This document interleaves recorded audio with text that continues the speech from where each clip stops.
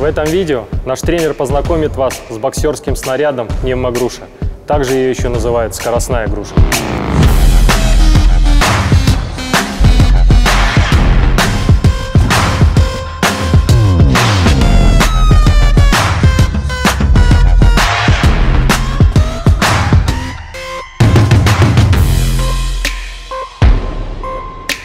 Пневмогруша один из самых интересных снарядов в боксе.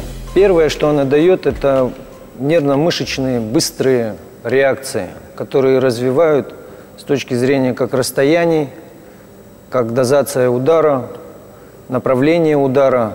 Ну и самое главное, то, что определяет силу удара, это точность. Ну и на этом снаряде проще всего объяснять в целом, как происходит тренировка на других снарядах. А стучится она до трех минут сразу. Изначально вся работа на пневмогруше не должна быть более 15 минут. Потому что я думаю, что после первой трехминутки вы уже поймете, что это такое. Мы сегодня покажем весь спектр ударов, который необходимо для развития ударов в целом. Ударов в боксе много, и удары разные – и по качеству, и по силе, и по скорости. Самый первый навык – это медленный подход к снаряду. То есть не старайтесь ее ударить сильно. Проще всего сначала начинать с ладони, чтобы понять, как она ходит. Чтобы уже точно был прицел на саму линию удара. Вот это самые простые движения для новичков. Один раз вы ее толкаете, она три раза бьется о платформу, вы встречаете ее посередине. Самое широкое место. Вот в этой груше прям даже нарисован значок, ну, в данном случае, куда надо прицеливаться. После знакомства с грушей вы можете убить, бить самый первый удар, это молоточком. Это самый простой удар, это рефлекторный удар. Он поставлен самой природой, потому что вот так могут бить как говорил мой тренер, даже девочки. На самом деле это очень серьезный удар. В боксе этот удар используется с точки зрения отбивов. То есть можно отбивать этим ударом. Выглядит это вот так. Самая простая форма. Одной, другой. Причем стоять здесь надо фронтально – то есть, ну, самая простая первая стойка. Никаких там пока переносов веса тела и так далее, так далее делать не нужно, потому что новичок, ну, скорее всего, даже не поймет, что это такое. Поэтому после вот этих вот ударов вы можете переходить к более сложным вариантам. Вот таким. К набиванию пястными костями. Разница между вот этим ударом и вот этим ударом небольшая. По сути, это движение одной системы биомеханики. То есть вот такой удар и вот такой удар мышечно выполняется одинаково. Просто из-за стабилизирующих мышц, которые находятся на кисти, у вас разворачиваются мышцы. И вот так вы можете ударить сильнее. Еще один момент. Если в первом случае вы делаете небольшой круг – то во втором случае вы строго бьете уже по прямой. То есть вот эта линия уже прямая. Она как бы может выходить немножко как бы сверху, падая вниз, но по сути это прямая линия. Поэтому вот этот вот удар, он сложнее, чем вот этот вот удар. Связано с расположением мышц. Самый сильный удар в боксе выполняется на двух костях не просто так. Это связано с мышечным скелетом, с строением мышц. Чем сильнее вы сожмете кулак в самый последний момент, тем проще будет его акцентировать, правильно остановить. Эта груша вот в своем самом простом обиходе, вот говорю, от простого натяжения мышцы до расслабления, все просто. Что так, что так, что так боксер учится правильно напрягать как раз на момент сжатия. Получается сильное движение. Вот, вот эта вот модель идеально правильная. она сложна по структуре сокращения. Пока у вас мышцы ну, не в большом тон, тонусе, вы легко это делаете. Но как только начинают затекать мышцы, все, все пропало. Поэтому новичку проще всего будет объяснить, что сожмите руку. Если хотите сильно ударить, просто сожмите всю руку.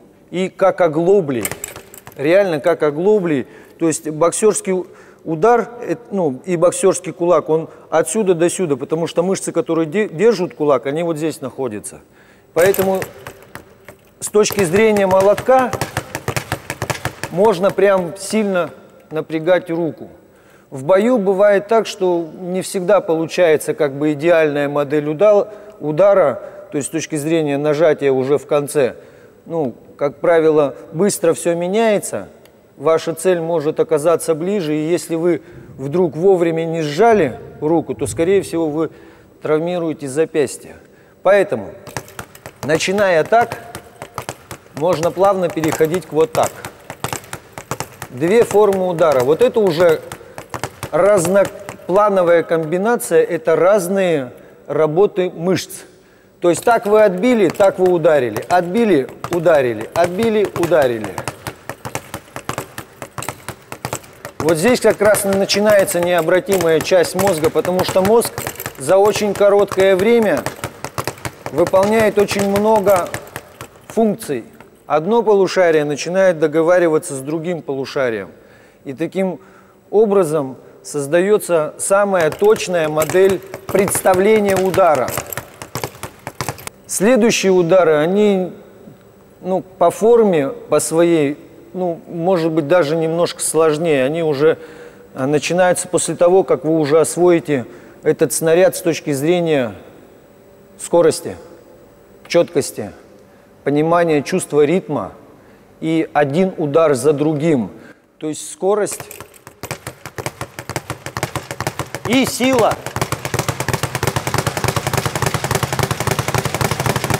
Дальше мы покажем удары, которые уже касаются профессионалов один из сложных ударов считается короткий. Вот это вот длинное набивание. Вот, длинное набивание. Есть короткое набивание, которое вообще э, формируется на очень коротких мышцах. То есть здесь вы не отводите руку, и она не работает у вас с точки зрения всей выкладки мышцы, а практически находится в статическом напряжении. Она практически не возвращается назад.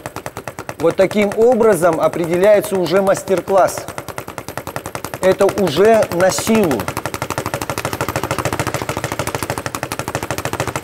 Выводить ее также можно вот как от ребра руки, я медленно сейчас покажу.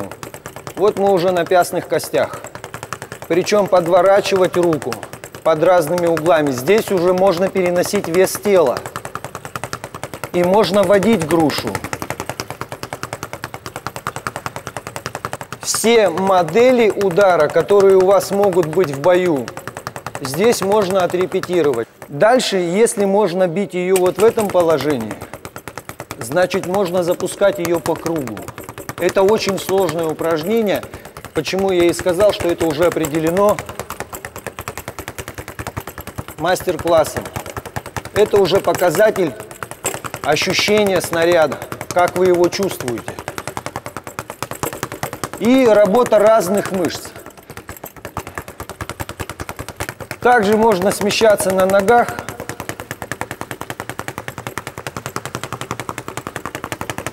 И пробовать ее уже бить в движении всех мышц. Дальше идут набивания, которые от первого и второго. То есть это, грубо говоря, длинные с переходом на короткие.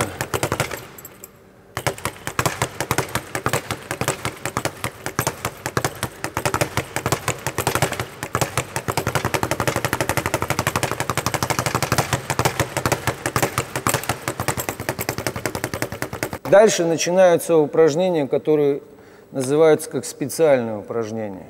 Это двойные удары, которые набиваются и туда, и обратно. Если можно ее туда стучать, это скорость только в одну сторону, то необходимо понимать, что в боксе скорость считается, когда туда и обратно. Когда туда ударил, завис, скорее всего, получишь ответный удар. Поэтому потихонечку туда и обратно.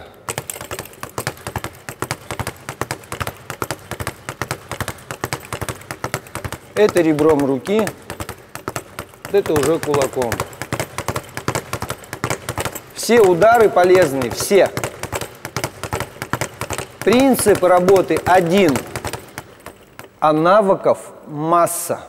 Чем больше разовьется навыков, нервно-мышечных реакций, тем проще будет представлять картину, ну или, скажем, формировать рисунок боя. Итак, если можно так, можно так, то можно и так. Сбоку выводить. Есть удары, которые выполняются вот двойки на взрывной силе. То есть это от резкого нападения и до полного расслабления. Выглядит вот так. Вот она начинает останавливаться, и вы начинаете ее ловить. Называется двойка. Если так, ребром руки, то также она бьется и как уже в боксе. Разгонять ее можно с интервалами. Можно без интервалов разгонять. Нарабатывая. Также и здесь. Можно чередовать руки. Одну делать ребром ладони, другую пястными костями. Раз, два. Также разгоняешь ее, отбиваешь, бьешь. Сразу. Еще раз говорю, подходите медленно к этому снаряду. Все разучивания на пневмогруши а, от одного месяца до шести месяцев. Как только к одному привыкли, мышца привыкла, надо менять градус, наклон, то есть со всех сторон. Если как бы постоянно долбить ее в одном режиме, ну, толку от этого мало. Человек очень быстро привыкнет. Самые сложные удары – это когда туда и обратно уже э, в режиме всего цикла.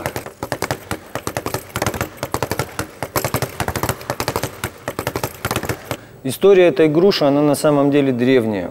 Уже в 20-х годах а, похожие варианты были. Они просто отличались а, по весу, по своему размеру. Кстати, размеров вот это вот капля – есть еще груши очень маленькие, в половину меньше этой. Есть а, больше груши. Вот это скоростная груша.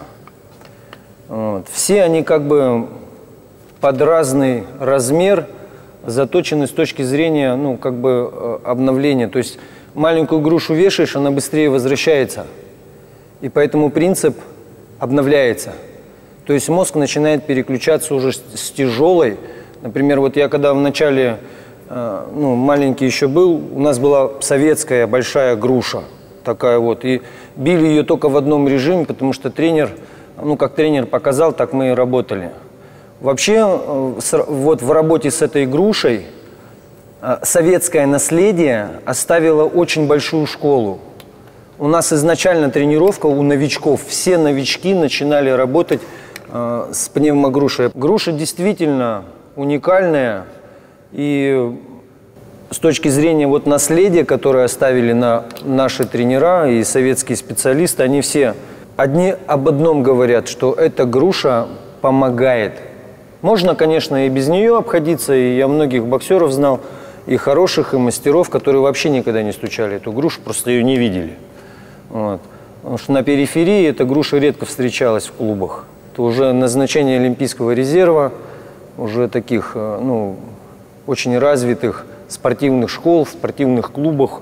Очень разные ритмы. Я, к сожалению, все ритмы показать э, не могу. Могу только те ритмы, которыми я сам владею. Но знаю, что бьют ее вообще по-разному. Считается, чем разнообразнее, тем лучше. Есть еще вот американцы э, тоже придумали, как говорят американцы, это развитие удара снизу. Удар сбоку ставится тоже как бы на этой же груше. Вы просто не по прямой бьете, а начинаете просто делать дугу.